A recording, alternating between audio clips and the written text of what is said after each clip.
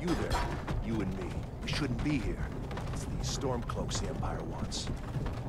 We're all brothers and sisters in binds now, thief. Shut up back there. What's wrong with him, huh? Watch your tongue. You're speaking to Ulfric Stormcloak, the true High King. Ulfric? The Jarl of Windhelm? You're the leader of the rebellion.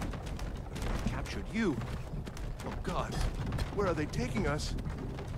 I don't know where we're going, but Sovngarde awaits. No, this can't be happening. This isn't happening. Hey, what village are you from, horse thief? Why do you care?